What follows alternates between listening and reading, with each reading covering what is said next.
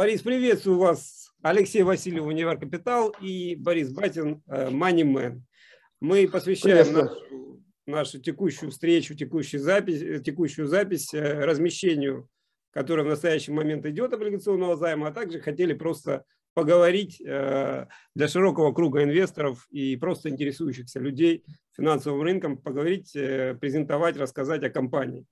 Вот Борис только что приехал с мероприятия Сибонс казначейства, да, у нас непосредственно рынок так а, несколько а, испытывают небольшие сложности, но при этом я вижу, что качественные эмитенты, они продолжают размещаться, да, и в связи с этим хотел просто как раз а, уточнить у вас, э, как сейчас эм, идет бизнес, э, расскажите про свою компанию, про то, как э, вам удалось достичь таких достаточно высоких, больших показателей, вы, наверное, крупнейшая МФО сейчас у нас э, в стране, да, с э, высоким рейтингом и качественным аудитом. Вот можно пару слов про компанию, в части в том числе, какие использовались стратегии развития компании, то есть это западные модели были или какие-то ваши ноу-хау, э, вот в двух словах.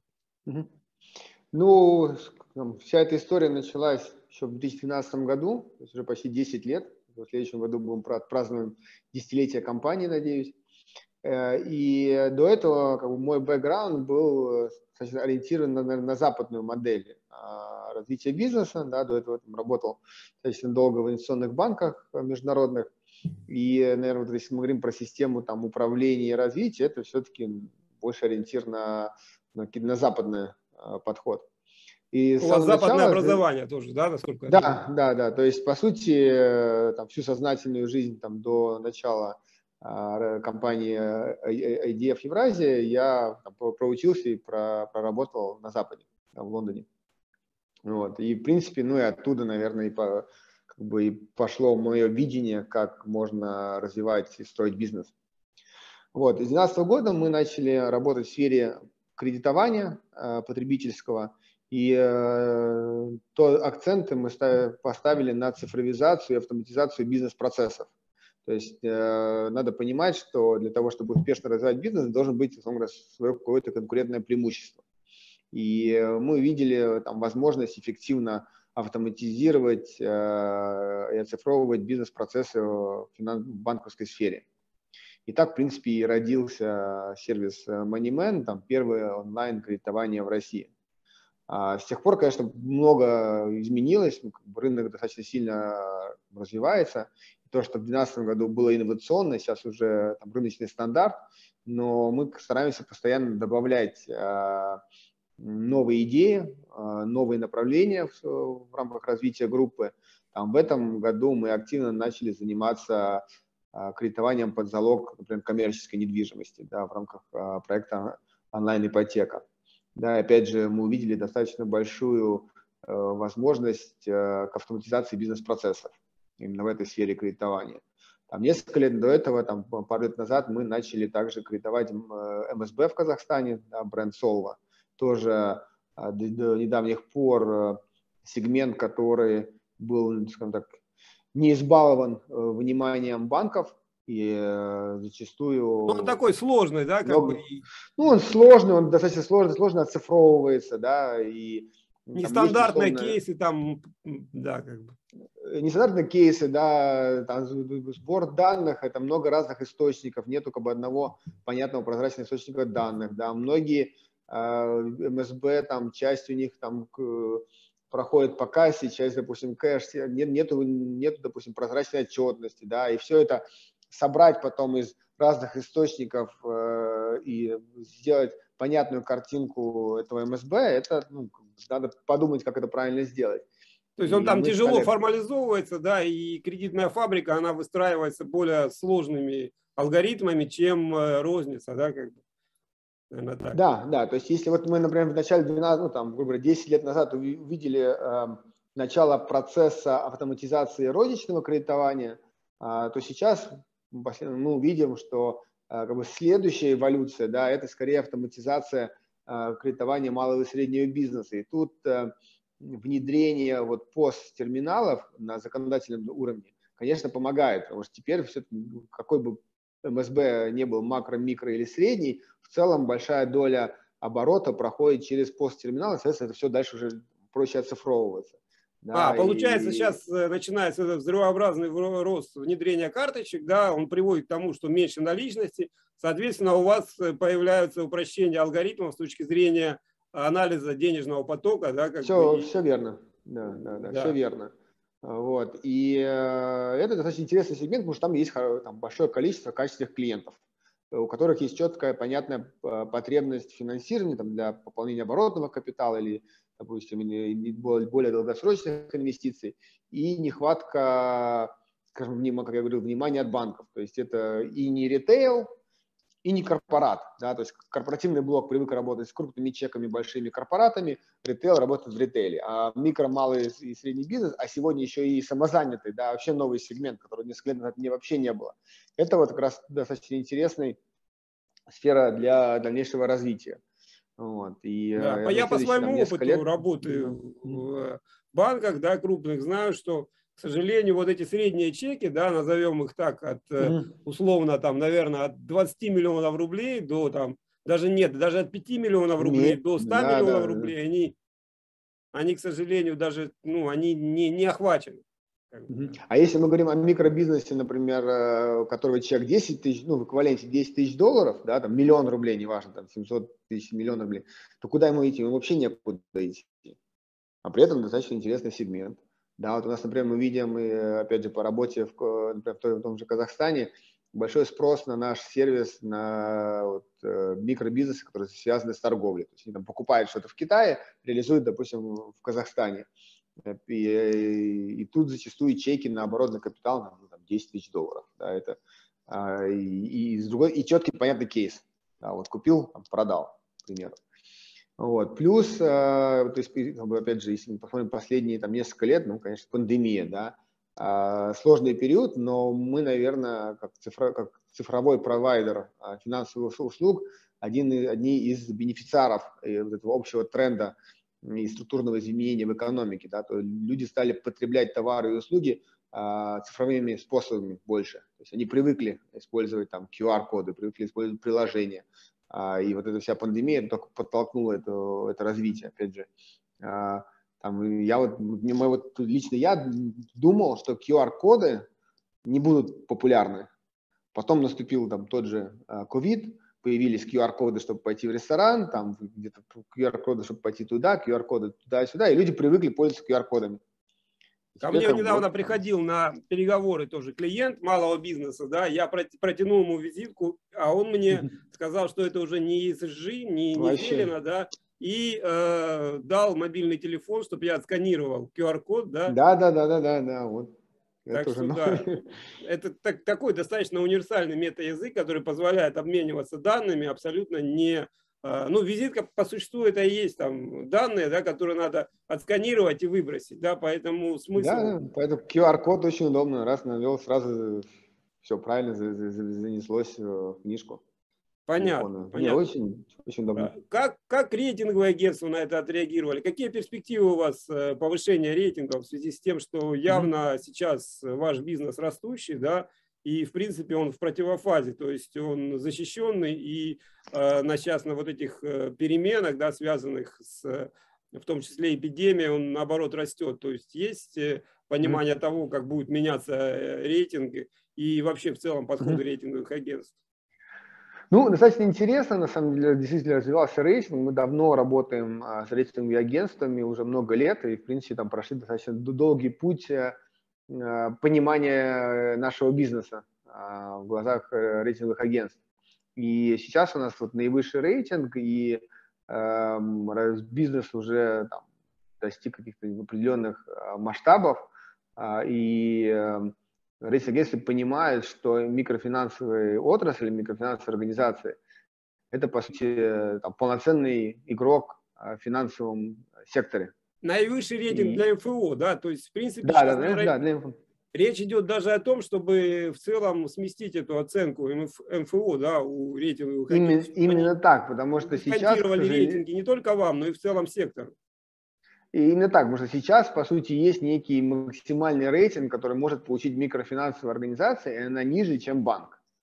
А объективных причин, почему это так, нету, потому что с точки зрения а, риска, с точки зрения управления портфелями, там, уровень достаточности капитала, там, ликвидности и так далее, микрофинансовая компания может э, вполне себе не уступать банку.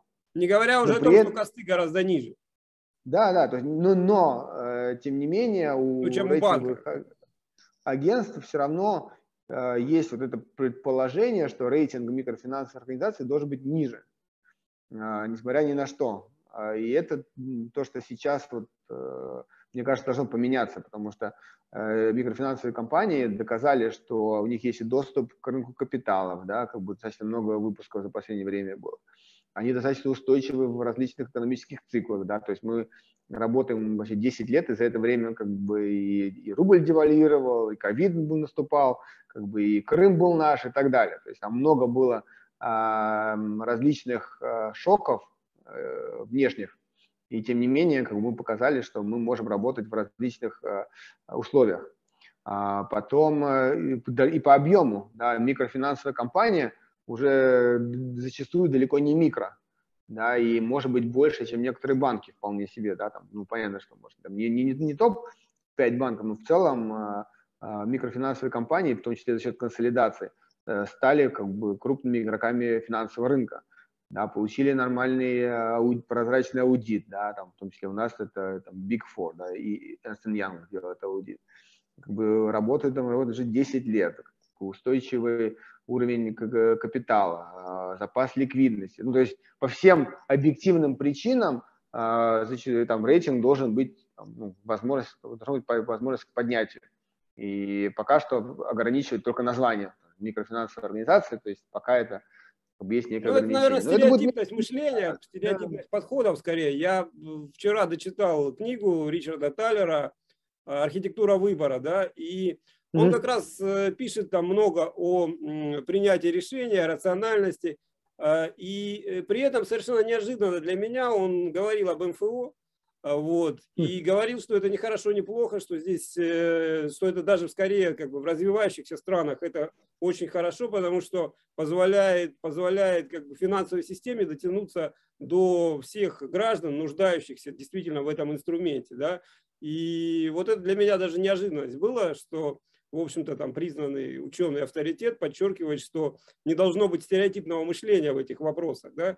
Я вспоминаю 10 лет назад, ну, примерно 10 лет назад, как э, выходил Тиньков банк на рынок, да, понятно было, ну, профессионалам, что это хорошая структура, там, отличный менеджмент э, и перспективные направления, да, но тем не менее все равно э, приходилось ребятам доказывать, да, что в принципе, у них там большое будущее, да. Теперь мы видим, что... Я, я, я помню прекрасно, вот там, смотря, там уже лет 15 назад, э, там, 6-7 год, 2006-2007, когда Тинькофф только начинал развиваться, как бы особо профессиональные, как бы, ну, большие фонды не хотели э, Со скептиком относились, да, абсолютно. Да, я помню, там первые облигации вообще привлекали в шведских кронах, одни из первых. То есть как был тоже достаточно сложный путь, а теперь вот они всем доказали, что а теперь уже очень... за ними бегают, чтобы они... Да, да, да. да. Ну, то есть, как бы молодцы, как бы э, утерли всем носом, как бы вообще молодцы. То же самое, что, что что Каспи вообще. Супер истории, супер success stories, хотя и Э, и на первых, и на вторых в начале пути смотрели так э, немножко косо, да куда вы тут есть уже устоявшиеся игроки, куда mm-hmm. вы пришли. Вот. И также с микрофинансовой организацией, да, много скепсиса было, много недоверия, но сейчас, э, мне кажется, компании доказывают, что это хороший устойчивый бизнес с большими перспективами. Какие-то еще направления, вот мы затронули, да, Тиньков, который сейчас еще и инвестом, инвестбанком фактически становится, у него большая, большая база, в том числе э, э, инвесторов, которые пользуются приложениями и так далее, да, вот, у вас какие-то еще направления есть, э, перспективное развитие, о которых вы думаете, которые можно было бы развивать на вашей базе, да, клиентской, да, там ну, немного, может быть, докрутив. Mm-hmm. Ну, мы видим два, два э, вектора развития. Первый – это, опять же, работа с существующей клиентской базой, предлагаем более широкий спектр услуг. Вот в этом году мы запустили карты. То есть это не просто уже кредит, который мы кидаем на счет э, в банк клиенту, но это не, уже непосредственно э, выпуск карты, Это, этой карты мы хотим предложить ну, максимально широкий спектр услуг, и владелец там, карты будет иметь возможность не только там, тратить деньги и получать кредит, но и там, сбережения, будет различный savings tools, э, помощь сбережениям, помощь в инвестиции и так далее. То есть это полноценный а, финансовый инструмент, нацеленный на, ну, на масс-сегмент, на масс-low-масс сегмент, а, который это, во многих странах это там, 50 или не 60% населения на самом-то деле. То есть это очень большая прослойка населения. То есть это первое. Второе, нам очень нравится сегмент э, э, микро, малого и среднего бизнеса. То есть все начиная от самозанятых, ИП и небольших ООО. То есть, опять же, это тот сегмент, который недообслужен банками, и мы хотим предложить им и залоговое кредитование, и беззалоговое кредитование именно на развитие э, их бизнеса. И у нас вот много, опять же, кейсов, когда владелец небольшого бизнеса, например, привлекает деньги на не знаю, там, выкуп помещения, где сидит, или закладывает помещение, которое у него в собственности для открытия второй точки э, бизнеса и так далее. И этот сегмент, вот, или на закупки, да, наоборот, на оборотный капитал, очень интересный перспективный сегмент и, и там, в России, в Казахстане, и в этом направлении мы будем активно развиваться. Ну, соответственно, вот это масштабное заимствование, они как раз с этим связаны, чтобы развивать этот э, бизнес, да, как бы, то есть перспективную нишу заполнить. Безусловно. То есть сейчас это ну, очень интересная и хорошая э, возможность для нас. Если говорить о, там, о сложностях, да, но сложности скорее не, не ваших, да, а то, что мы сейчас наблюдаем на рынке, ужесточение э, э, кредитной политики, повышение ставки там и так далее. То есть Тут э, насколько вы защищены, защищены и какие тут могут быть для вас э, там с одной стороны вызовы, а с другой стороны наоборот плюсы, да, как бы, которые можно там э, использовать для своего развития, да, вот данную ситуацию. Ну, мы привыкли, в принципе, работать в достаточно волатильной среде, а, ну и, в принципе, как бы, опять же, буквально за 10 лет было несколько внешних а, сильных а, шоков для экономики. Поэтому, как говорится, нам, нам и как многим нашим коллегам не привыкать, а, с одной стороны. С другой стороны, конечно, всегда хотелось бы чуть больше стабильности. То есть это вопрос не, в, не, не ставка в абсолютной величине, но когда в течение одного года она почти в два раза меняется, почти в два раза, ну, это достаточно сложно переварить и сложно ну, э, адаптироваться к этому. Конечно, поэтому такая, такая волатильность, ну, привыкли. Проще, не, проще не, из года в год проще не становится. Угу. А, несмотря ни на что. Ну, как бы, ну, с другой бы стороны, сказал, всегда возможность... Драматические повышения ставок, да, по сравнению с предыдущими периодами, да, все достаточно здраво и управляемо идет, да. Вот. А, расширяя вопросы по, по услугам, да, хотел уточнить, вот э, меня интересует в том числе тоже под э, прочтением нахожу сейчас книги да, Талера про кредитование в развивающихся странах. Я хотел уточнить, а продукты какие-то могут быть интересны у вас для, скажем так, для людей, которые здесь работают без гражданства, там, гастарбайтеров и так далее. Мне кажется, достаточно перспективное такое, э, по крайней мере, массовое направление, да, которое может быть э, интересно с точки зрения заработка. Да? Или там есть какие-то сложности, связанные как бы э, с какими-то ограничениями да не, не бизнес-характера. Да нет, все сложности можно решить. Вопрос желания и э, перспектив. Вот, например, опять же, если мы говорим э, про кредитование не граждан, то это надо делать в совокупности с присутствием в той стране, откуда этот человек э, приехал на заработки. Да? Ну, допустим, ну, у вас вот в Казахстане Си... есть бизнес, да, вы это имеете в виду, что вы можете там... Ну, вот тут, кстати, вот не очень много. Россия и Казахстан не такой уж большой э, поставщик, условно говоря, рабочей силы. То есть не так много казахов в России, которые работают э, в России, не так много, условно россиян, которые работают в Казахстане. Другое дело Узбекистан, например, Россия. Вот это тоже намного более интересный э, канал и намного большее количество людей э, скажем, пересекают эту границу для, на заработки. И вот тут э, действительно интересная, в принципе, интересная возможность, но к ней надо прийти через присутствие в Узбекистане. То есть надо понимать этого человека в стране его ну, рождения, пребывания и там, становления, для того, чтобы собрать по нему достаточное количество информации.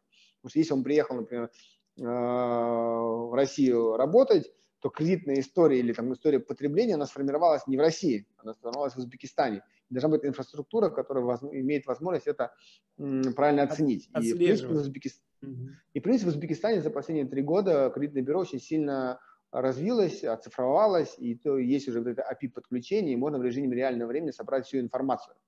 А, по, опять же, транзакциям, вот есть у них УСКАРТ, а, который там подавляющее большинство платежей обрабатывает, и э, данные по транзакциям можно также собрать через там, кредитное бюро.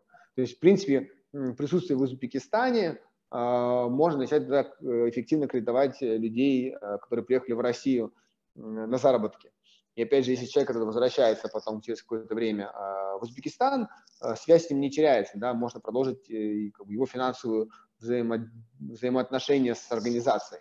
Мы можем его кредитовать в России, можем ему помочь, например, переслать деньги не знаю, семье обратно в Узбекистане, потом он вернулся в Узбекистане, мы ему можем продолжать его кредитовать, там, помочь ему инвестировать или там, развивать бизнес в Узбекистане, потому что страна на подъеме, страна развивается, и вот в таком формате это интересно. А вы же а, можете и, даже ну, как бы э, и пересылкой заниматься, да, или это другой бизнес денег? Ну, да, просто пересылкой неинтересно, потому что уже есть э, состоявшиеся успешные игроки, там, ну, маржи нету, как бы, а что нового мы придумаем? А, ну, как бы, и так достаточно легко и удобно пересылать деньги, на самом деле э, рынок денежных переводов в странах СНГ один из самых конкурентных в мире. То а, есть переслать, серьезно, да? День, да, переслать деньги в рамках там, стран СНГ дешевле, чем, например, из Америки в Мексику, условно говоря. Ну, поэтому в этом плане, э, вот, опять же, сравнить Western Union тарифы и тарифы там э, российские, золотая корона и так далее, тарифы в разы меньше. А, поэтому как бы, я даже не представляю, что можно еще принести э, в этот э, сегмент, кроме как, ну, давайте теперь работать вообще в минус.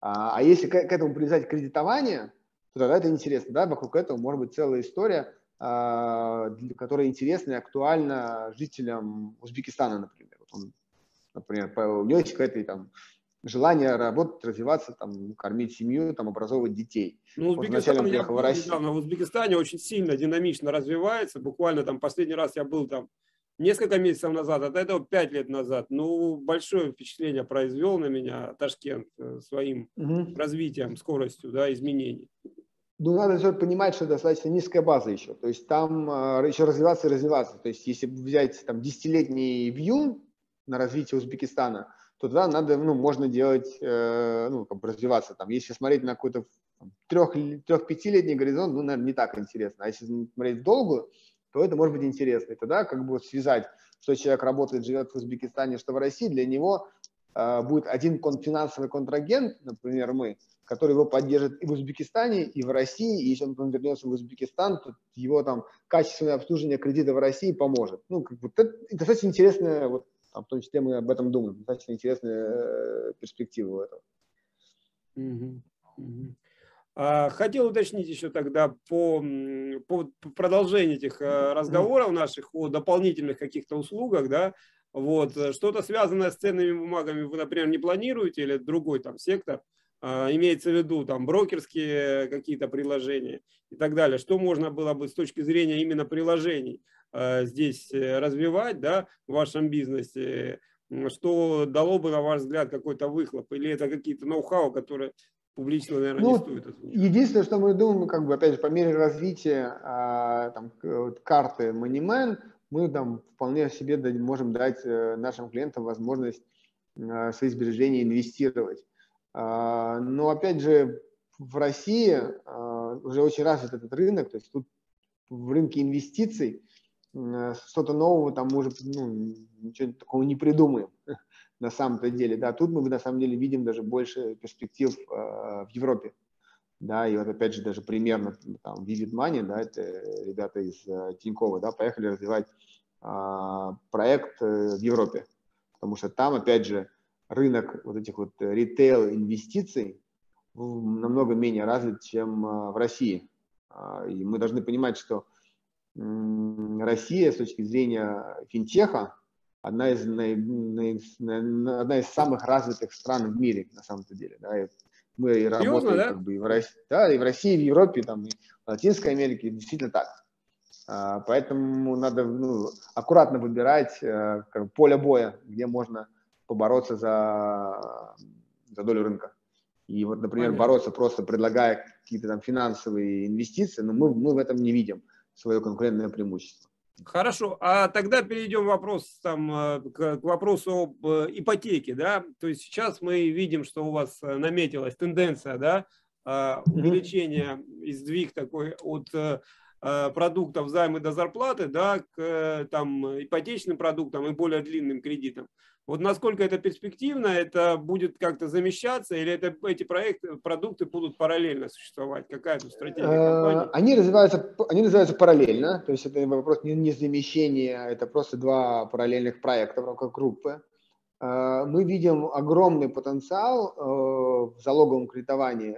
Опять же, поясню, мы не планируем конкурировать там, как говорится, head-to-head -head, там, с Альфой, с ВТБ, с Сбербанком, да, давай, пытаясь дать кредит а, семье на покупку primary вот, жилья основного в новостройке, да, ну, как бы там, опять же, мы ничего там не придумаем. То есть сейчас вот очень классный сервис, все эти банки предлагают, удобный, достаточно оцифрованный уже, и низкие ставки, ну, как бы ничего нового там не придумаем.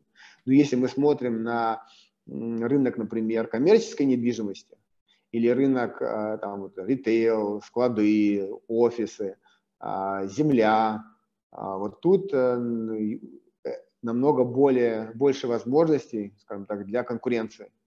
И вот этот сегмент нам он интересен.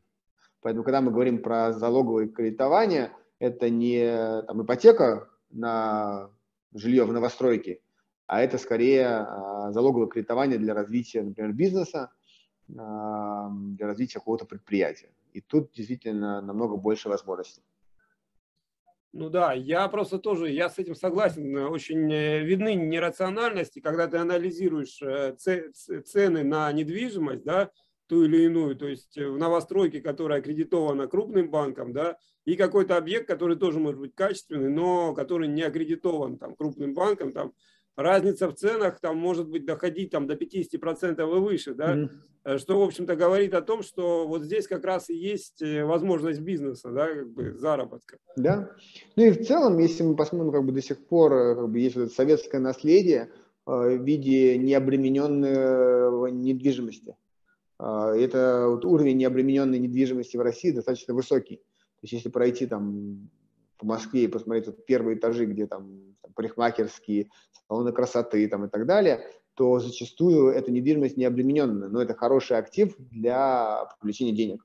При развитие. этом по каким-то формальным критериям она может не подпадать под там, под там, или, или она может не попадать, или бизнес, или там парикмахерская, которая там работает, там да, да, не да. хватает. Там, ну, действительно, они плохо ложатся на продуктовую матрицу банков.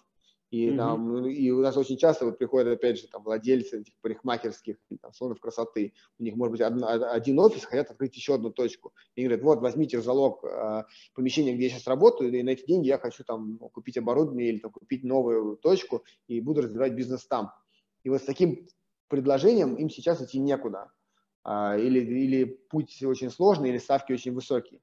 А, по сути, это нормальный бизнес, нормальная недвижимость, почему бы не дать а, денег на развитие бизнеса э, такому предпринимателю. Вот это, это правда, это, это, это заметно невооруженным глазом, особенно когда ездишь в командировки, даже там города-миллионники, даже на центральных mm-hmm. улицах, да, вот, есть такие, такие ситуации, да, которые там а, точно, точно, с чем можно точно работать, да, то есть сложившиеся менеджеры, сложившиеся собственники, да, но у них есть сложности с Э, с закладыванием такого рода недвижимости под развитие своего бизнеса. Хотя всем понятно, что этот бизнес генерит, э, генерит выручку нормально. Понятно, окей, интересно. Это достаточно ценное пояснение. А, ну, в принципе, в принципе, в принципе, так обо всем поговорили поговорили, да, может быть, так обсудить э, лицо вашего инвестора, да, то есть, э, ну, сейчас размещение идет, мы уже так представляем, mm-hmm. достаточно успешно она идет, несмотря на то, что финансовый рынок как бы там сейчас сложный, да, а, вот, то есть, каково, в принципе, лицо вашего инвестора, отличается ли он может быть, категория этих инвесторов, которые вам там по разным каналам да, финансируют вас. То есть э, какие, какие, какие, какие вы для себя здесь можете э, прокомментировать нюансы, да, там для нас как бы, уточнение. То есть какой ну, лицо инвестора, наверное, меняется, да, если мы, по мере, в том числе, развития там, ритейл-инвестиций. А если мы берем, ну, возьмем несколько лет назад, то лицо нашего инвестора это скорее человек, там, средний чек э, был около там, 100-200 тысяч долларов. И это, тем не менее, небольшая часть э, активов или сбережений этого человека, то есть так называемый high net worth individuals с развитием вот рынка ВДО и, в принципе, вот этих всех приложений по инвестициям, а, инвестиции стали доступны более широкому кругу инвесторов. И сейчас мы видим снижение среднего чека, но при этом увеличение общей, общей массы инвестиций за счет э, большого увеличения количества заинтересантов э, в таких, таких инструментах. Поэтому сегодня там, средний чек э, нашего инвестора – ну, уже будет там в пределах, э, наверное, миллиона рублей. Да, это если смотреть как раз люди, которые инвестируют в облигации. А, плюс э, сместилось вот с точки зрения инструмент тоже поменялось. Если раньше людям было как-то проще и понятнее инвестировать напрямую в компанию, то сейчас, а покупка, покупка облигаций была что-то сложное и непонятное, то сейчас все разобрались, как купить облигации. Да, это приложение, опять же, там, Тинькофф, Альфа, Фридом, э, Газпромбанк, неважно. То есть у всех есть удобное приложение, которое, через которое можно... ВТБ, да, то есть как бы тоже... Да, безусловно. Вот. И э, теперь э, люди пользуются этим инструментом для инвестиций. А, и вот как бы, э, лицо оно немножко меняется, и, следующий, ну, и следующая для нас задача – это также объяснить и, наверное, донести суть бизнеса и суть там, а, инвестиций до более институционального инвестора. Это, наверное, тот э, сегмент инвесторов, который, у которого есть большой потенциал роста. Потому что если как бы ритейл, наверное, инвестиции сейчас основные на пике, да, и, в принципе, кто, все, кто хотел, уже научился инвестировать, и, наверное, приток новых инвестиций, он уже ограничен, то если мы смотрим на институциональных инвесторов, да, страховые компании и так далее, то э, там есть большой потенциал э, роста. Как бы именно ну, с учетом того, что вы, естественно, там э, самое первое в секторе, да, зачастую там име, зачастую инвестор открывает э, на сектор лимит, да, и сразу же видит, э, кого купить, да, и, естественно, он mm-hmm. покупает, скажем, лидера отрасли, да, особо там э, не потому, что есть большой займ, есть там ликвидность, да, э, соответственно, наверное, тут понятно как это именно, да, именно, именно поэтому вот в новом э, выпуске э, мы работаем э, так, вот, с новыми для нас организаторами, в том числе универ, да, в том числе как бы, в твоем лице, да, потому что у вас есть доступ к более институциональным инвесторам, да, по сравнению с теми организаторами, которые раньше выступали у нас на, на выпусках. Именно для ну, того, да, чтобы да. потихоньку Здесь понятно, здесь да, выпуск да. получился очень интересный с точки зрения Э, ну, получается, да, с точки зрения именно клиентской базы. Мы видим и крупных инвесторов, э, институционалов, э, заходили небольшими лотами, тоже институционалы. Есть крупные физики, да, которые mm-hmm. большими лотами заходят, да, там из персонального обслуживания и принимают взвешенно очень решения, да. И есть как бы потоковые клиенты с небольшими заявками, видимо, там с розничных банков и так далее. Вот, то есть в этом плане здесь э, видно, что инвесторская база уже очень разнообразная. Да, это там большой плюс э, для рынка и для компании. И это Именно подтверждает так. только то, что да, все правильно делается с точки зрения бизнеса и оценки. Вот, в принципе, в принципе, наверное, у меня такие базовые основные вопросы я там осветил. Вот, если есть что-то сказать еще нашим слушателям интересное, и так далее, с точки зрения прогнозов, с точки зрения советов, да, тоже можно, наверное, обсудить. Рассказать. Ну, наверное, вот добавлю, это, наверное, был достаточно интересный диалог в целом в рамках размещения э, со многими инвесторами и организаторами, потенциальными инвесторами, потенциальными организаторами. То есть, мне кажется, рынок уже достаточно развился, появилось достаточно много разных э, эмитентов, и поэтому инвесторам, наверное, пора уже э, потратить какое-то время и разобраться а, с точки зрения рисков разных эмитентов. У кого выше, у кого ниже. Потому что зачастую сейчас все как бы, ну, плюс-минус под одну гребенку это показывает. То есть ставки практически вот после нескольких размещений а, у практически всех игроков там, ну, микрофинансового рынка были одинаковые. Почему? Ну, потому что, ну, типа, вот микрофинансовый рынок мы, мы оцениваем вон там, с точки зрения там доходности. А все-таки уже, наверное, пора начинать а, разбираться между разными компаниями, и там у этой компании справедливая доходность тут, у этой компании должна быть тут, а у этой там. То есть это вот, наверное, как вот, опять же, следующий этап развития рынка, и чтобы потом никто случайно не, не, не удивился и не расстроился, а надо, надо начать понимать и разбираться. Ну да, мы, собственно, для этого, для этого и разговариваем, да, и записываем наши э, ролики, да. Тут можно посоветовать смотреть нас, ставить лайк. Вот, да, обязательно. Да, Э, смотреть, наверное, Сергея Лялина, да, это профессиональный, профессиональный, собственно говоря, сайт по облигациям, да, быть там подписан на этот сайт, там хорошие сервисы, я тут минутку рекламу наших партнеров, да, которые позволяют как раз-таки сравнивать доходности в том или ином секторе. И инвестору даже розничному, непрофессионалу финансовой отрасли, э, эти, эти сайты позволяют доступным языком показать качество той или иной бумаги, да, ее кредитный рейтинг, там, в вашем случае там, достаточно высокий для отрасли, в отрасли, и другие нюансы, которые, как сказать, которые связаны со ставкой и влияют на принятие решений. Вот, то есть, э, потому что все цифры, они, естественно, они не берутся с потолка, да, там как раз показано, вся аргументация, почему, почему такой объем, почему такая ставка, да, и э, какое качество у компании при этих параметрах.